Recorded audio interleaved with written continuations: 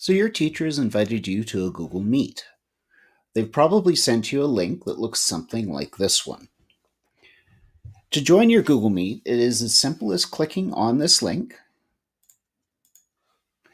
And if it asks you to, logging into your Google account, your Google account, of course, looks like mine here, where it's your username at gm.fsd38.ab.ca. If you're not signed in with that account, um, you may have some trouble joining the meeting. So please do make sure that you sign in with that account. Once you're on the main screen, you'll see that it gives you an option of join now or present.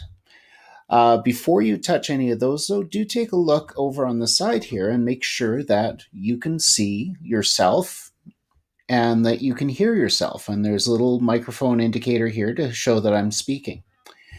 If you can't, do make sure that if a little box pops up somewhere up here asking you for permission to use your camera or permission to use your microphone, that you say yes. If you don't, or if you forget that, you'll notice that I have a little uh, camera right here.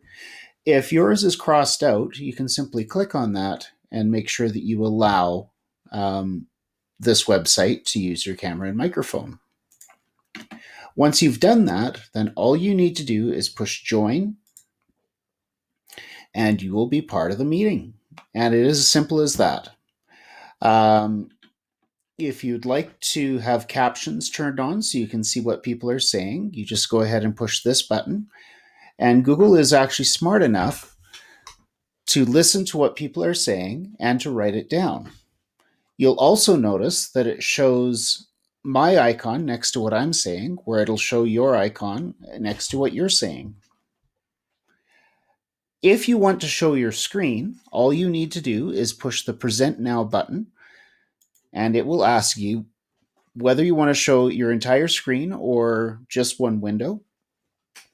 Um, once you've done that, it will share that screen to anyone else in the class. When you're finished your meeting, all you need to do is close your browser window.